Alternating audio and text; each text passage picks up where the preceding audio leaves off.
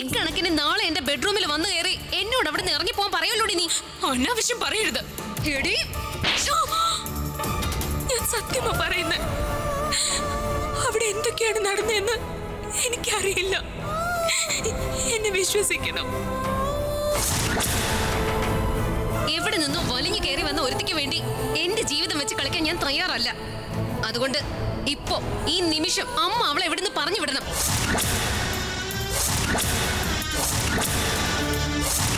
ഭാവി ഇനി അവളുടെ കാൽ പിടിച്ച് അപേക്ഷിച്ചാലും ഒരു ദിവസം പോയിട്ട് ഒരു നിമിഷം പോലും അവൾ ഇവിടെ തങ്ങില്ല. എന്നെ അത്തിക്കോട് കൊണ്ട് വിട്ടേക്ക്.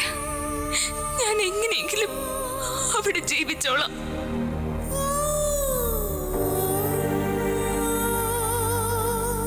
ഇന്ന് രാത്രി എട്ട് മണിക്ക് പൗർണമി തിങ്കൾ.